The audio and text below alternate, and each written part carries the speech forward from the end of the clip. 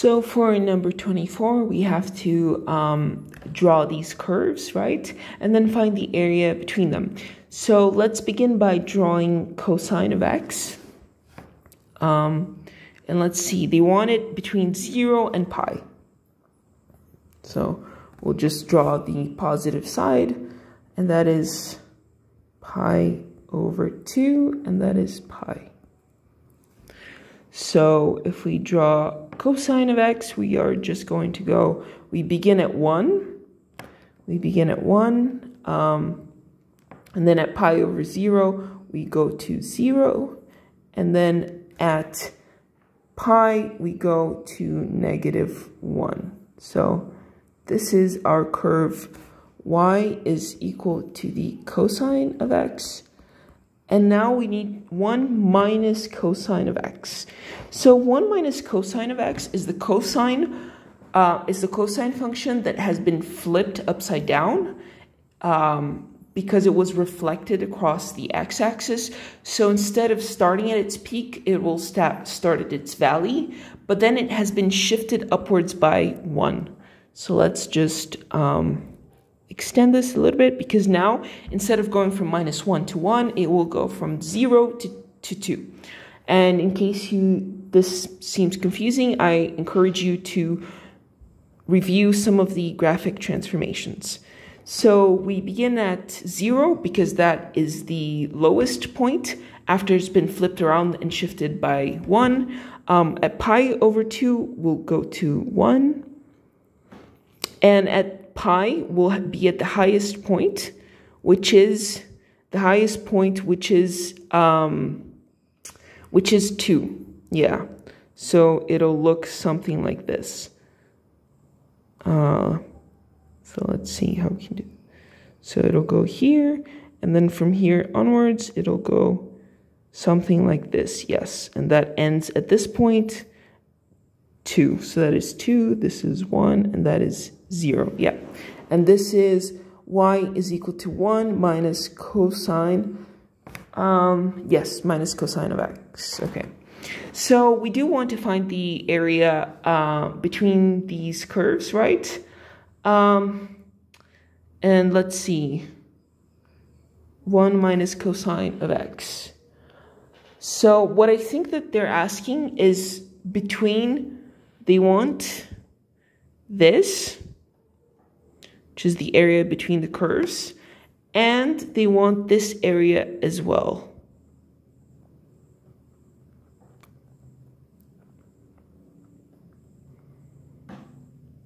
So we can see that we are going to um, break it down into two different integrals. Um, even though technically it's not, uh, it's not enclosed, we can interpret it as such because it says from including 0 and including pi.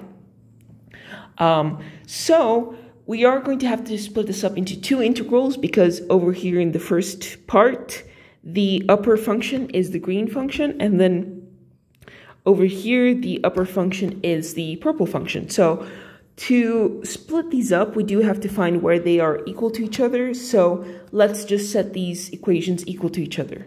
So we have that cosine of x is equal to 1 minus cosine of x. So let's bring the cosine to the other side. Um, so we have here 2 cosine of x is equal to 1, and therefore cosine of x is equal to 1 half.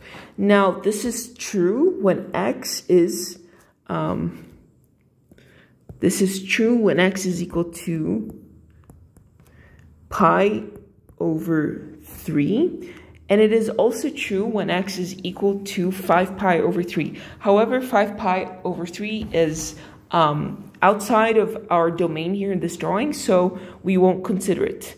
Um, all right, now it's time to set up our integrals. So we will first set up the, the one that goes from 0 to pi over 3, 0 to pi over 3. Uh, the upper function is the green function, so that is cosine x minus minus the lower function. The lower function is 1 minus cosine x. So be very careful with the sign, right? Because it goes minus 1 minus minus cosine of x. So plus cosine of x and then all this times dx, um, which is equal to the integral from 0 to pi over 3 of 2 cosine x minus 1 and then dx. Okay, that is our first integral. What about our second integral? Now we go from pi over 3, that is the lowest boundary, right? Because they do um, they do intersect at this point over here, which is pi over 3. So in this integral, we go from pi over 3 all the way to pi, which is where our drawing ends. And then the upper function is 1 minus cosine of x, and then minus the lower. So minus cosine of x, and then all of this times dx. dx, yeah. So if we clean this up a little bit, this is the integral from pi over 3 to pi of 1 minus 2 cosine x and then times dx.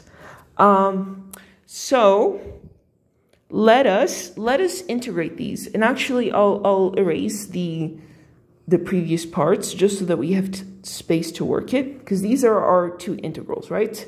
So let's integrate these. Um, this first one it is two times the cosine of x is sine of x. So this is just 2 sine of x and the integral of 1 is just x minus x from 0 to pi over 3 which gives us um, sine of pi over 3 is root 3 over 2. So we have 2 times root 3 over 2 uh, minus pi over 3.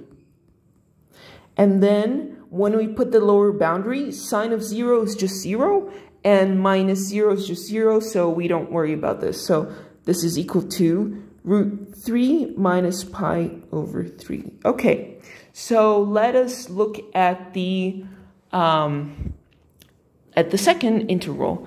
Then when we integrate this, this is just x minus 2 times, the integral of cosine is just sine, 2 sine x, evaluated from pi over 3 to pi.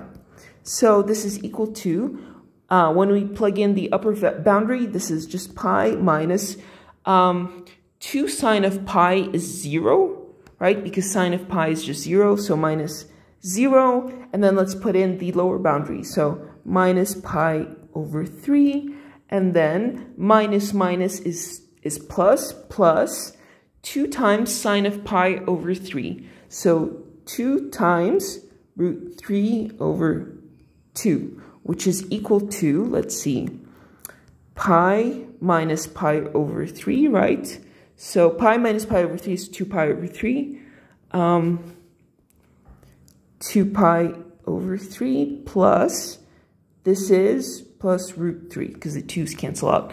All right, so once we have this, let's just sum up the results together. So the area is equal to the first integral, right? The first integral was here. So that is root 3 minus pi over 3, and then plus the second integral, plus oh, this stuff, plus um, root 3 plus 2 pi over 3. So the total um, is 2 root 3 minus pi over 3 plus 2 pi over 3 is just plus pi over 3. So this 2 2 root 3 plus pi over 3 is the answer um, to the area that's between these two curves, which we had to break it down into two different integrals.